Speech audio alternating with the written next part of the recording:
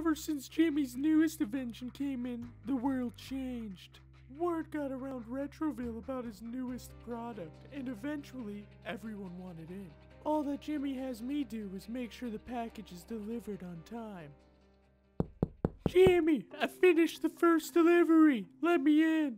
How many times do I gotta tell you not to use my name when coming here? Sorry, Jamie. Whatever, just come inside before someone sees you. This way, Carl. Sheen's over here testing out the new product I've invented. How's it working out for you, Sheen?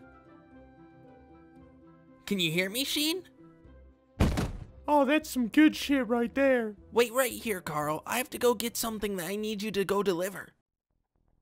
Oh, I see, Jamie. Where's this one going to? Well, Carl, this one's gonna go to McSpanky's. You gotta deliver it to Skeet. This delivery should be easy enough for someone of my standard. Alright now, Carl. You can't let me down on this one. This one's really important, so make sure it gets to Skeet first. Don't worry, Jimmy. You can count on me. Maybe after this delivery, Jimmy will let me talk to his mom. well, isn't this just perfect? I found the location of Jimmy Neutron.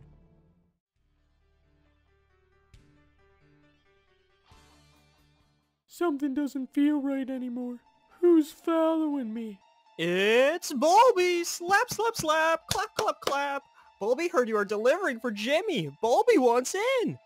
Bolbie, you better get out of here. This life's just too dangerous for someone like you. You'll never know. Bolbie might come in and save the day for you. Then you'll be forced to let Bolbie join the team. the day that happens, llamas will be raining from the sky, Bolbie. And as always, a big McThankies from McSpankies. Oh hey dude, welcome to McSpankies. May I take your order? Actually, Skeet, I'm here to deliver your order. Sounds good, dude. Let me inspect it first. Hmm. Dude, wait, is this shit laced? Jimmy Neutron wants to go to war, huh? Oh shit, he has a gun! Oh, make room, make room!